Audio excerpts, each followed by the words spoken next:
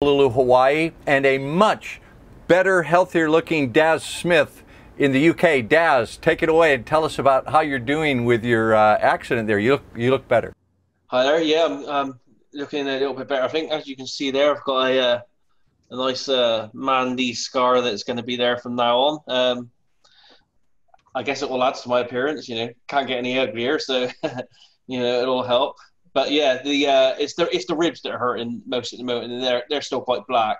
Um, so you have two you have two broken ribs still. Uh, I I don't know if they're broken or cracked. They're very painful because they didn't they didn't X-ray me, so they didn't tell me because there's nothing they can do with ribs in the UK. They just like send you home with painkillers. Um, but literally, my entire side and um, all down my back is is blue and black, all, all the way down my back and side. That's not uh, conducive to re- remote viewing. no, I have to make sure. At the moment, you know, I've been doing a couple uh, just to get back in the swing of it and I have to make sure i am sitting upright like I am now, and I've got a nice pillow to support my rib side, just uh, just so I'm not in pain. But you know, hopefully within uh, a, a, few more weeks, I'll be I'll be hundred percent again. But I'm nearly there. I'm getting there. Well, it's good to see that you're looking good. Were you wearing a helmet while you were riding that bike? I wasn't. Uh, I've been one of the people for years. I've been sending my wife, oh, because it's you know it's a bicycle, um, and I do go, I do, I do go at speed, and I uh, for years I've been saying, oh, what, uh, why do I need a, why do I need a helmet? That's for wimps. Um, but after, yeah, I got to be honest, if uh, if I'd been going my normal speed, I probably wouldn't, I, I, probably wouldn't be here today. I probably would have been, I probably would have been dead. Uh, it was only, it was only because uh, a van was going down in front of me that slowed me down to less than half my normal speed. That that when I hit my head and hit my eye, that it wasn't as bad as it was. So first thing I'm going to do when I can actually walk to town is is go buy a helmet. Yeah, well, you don't need me to lecture you about a helmet. So, did did they do like a uh, concussion protocol? How many fingers am I holding up? Did you get a concussion?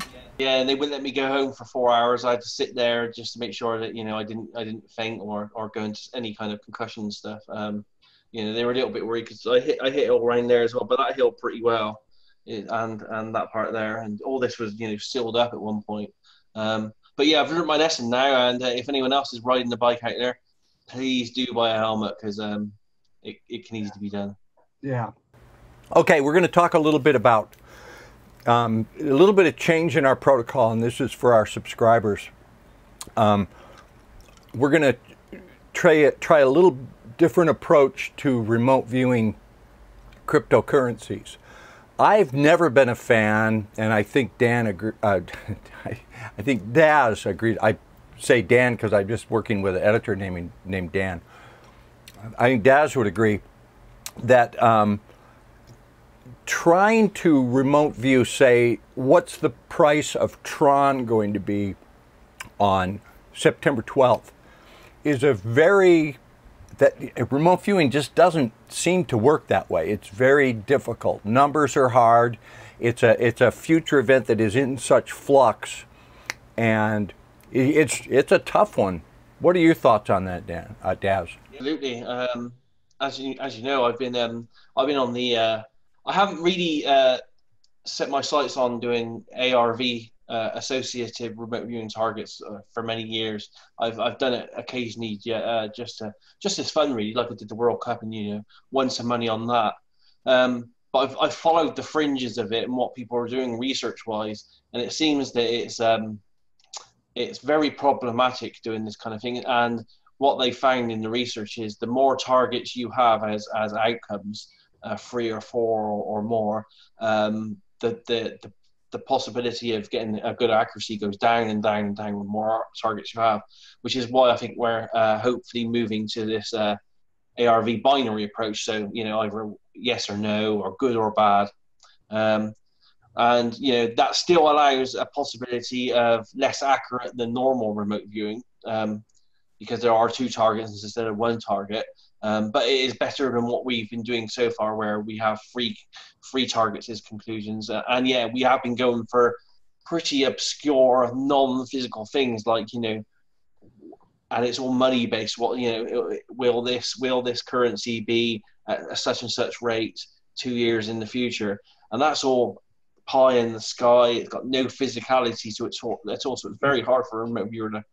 It, it, yeah, it may have very little meaning to our subconscious, which doesn't give a shit about numbers. And uh, absolutely, and and the guys out there might not know this, but uh, me and you as remote viewers, uh, in the way that we're trained, we're trained to um, primarily just describe targets, and we have to describe it using our physical senses. So it's like you know we have to try pretend to touch the target or taste the target or smell the target to try to get data coming back from us. And that's very hard to do with targets like cryptocurrencies when they're um, when they're money based because generally uh, non-physical money doesn't have any feelings it doesn't have any textures it doesn't have any smells or tastes yeah i've as a remote viewer i generally i generally don't like to do future targets that often either i mean that's not been a big staple of my remote viewing other than courtney's time cross, but we're we're going for more mysteries in the past or where something is now.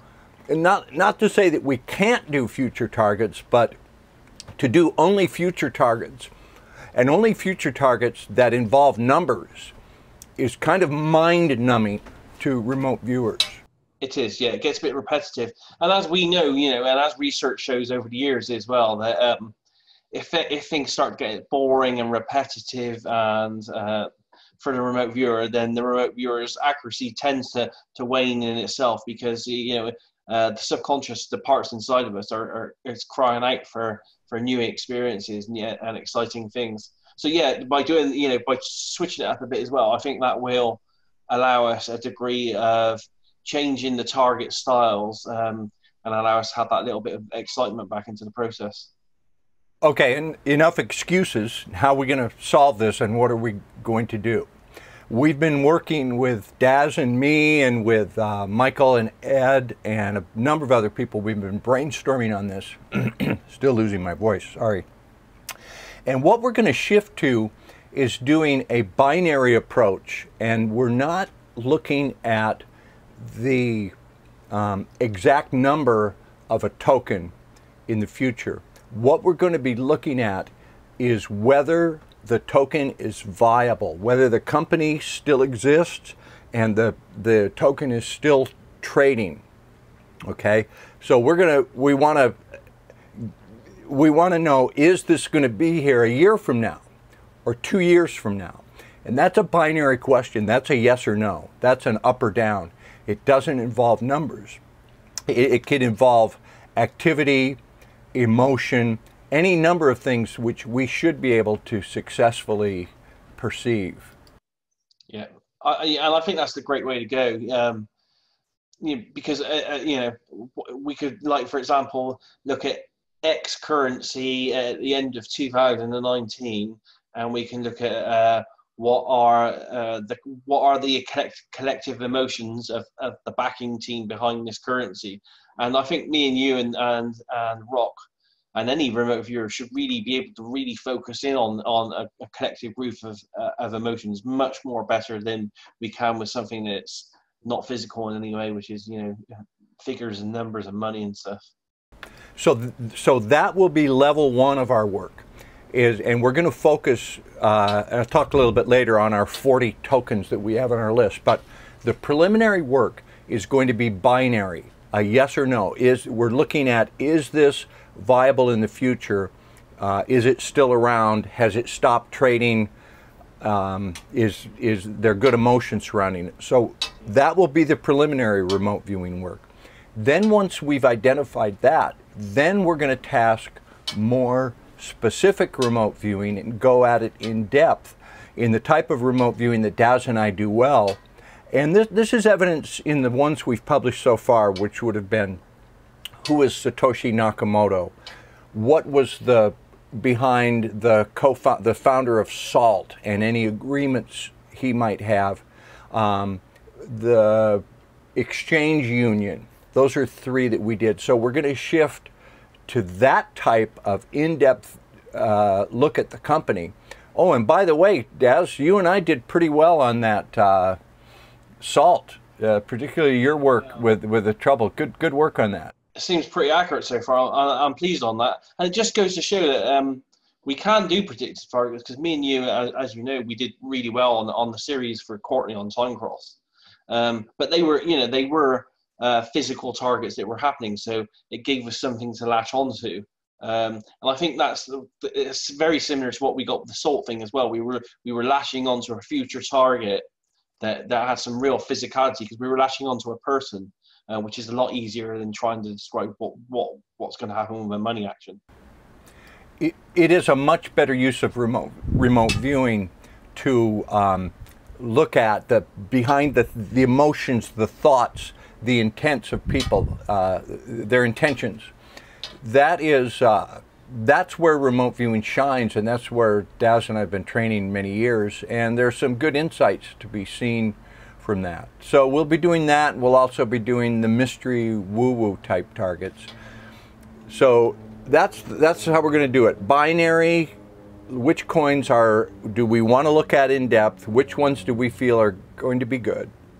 Then the more in-depth, um, you know, meaty targets and then we're going to continue to look at coins and the uh, coins that we have on our list, like the 40 that we put out, these weren't really a result of remote viewing. This is a result of hard uh, data and analysis and knowledge that Michael and some of his associates bring to the table. So it's it's a mixture. It's not just all remote viewing and it's not just analysis of current events. We've we've got a lot of different things going on. Yeah, yeah, and it's the way it should be as well. As me and you know, um, and how, how, the military used remote viewing as well. Remote viewing should never be used on its own. It should always be used with other sources of information to con- confirm and deny, and you know, enhance. All, all information sources should should enhance each other as well. They never used remote viewing as a standalone tool. But on the other hand, I've had guys in Intel tell me all Intel briefings contain some remote viewing without telling the client that it did. They would call it special collection methods, but they uh, it was used more widely than we were than was let on. Okay, so that's the new um, that's the new thrust of our remote viewing. We're going to get to work, and Daz's ribs are healing. I just got an air conditioner. It's been so hot here. I, I, I, remote view usually about six or seven in the evening. I have a little dinner, then I sit down to view, and it's just been 85% humidity and 90 degrees, and I'm just sitting here with sweat dripping down. So I've, I've got an air conditioner. I'm going to have better, uh, better conditions shockingly, it's even been hot here in the UK. You know, we're having degree, we're having temperatures, you know, way in the in the top 30s and 40s here, which you know is probably not hot for you guys. For for us in the UK here, it's just like it's stifling, and all the grass is dying. We've got hose pipe bans, so you can't use any water and everything. So, yeah, I think the world's suffering with a lot of this heat at the moment all around. Yeah. Well, there's a rule in remote, remote viewing, no target talk, but I think that in the future we're going to be doing it, it, it, will be tasked climate conditions will be tasked to us i know that's coming and they'll they'll sneak it at us blind and it'll that'd be, be a good one to do yeah i look forward to that all right daz it's good to see you you're you're looking good and actually that little scar is going to be handsome on you you're going to look uh, just a little devilish you know like you you're little tough guy. To my wife, it might it might end up looking like one of those little Harry Potter zigzaggy kind of lightning scars. Yeah. Did you get? Do you have uh, stitches in that thing? No, no. It just it's just you know like naturally it's just naturally closed up there. That's it. Yeah, well, all across. It'll, heal up. It'll be a little bit more character for you. All right, Daz. There you go, and uh, we'll have more more material coming out soon. It's a, it's this is a fun project and we're working hard for you. Aloha everybody.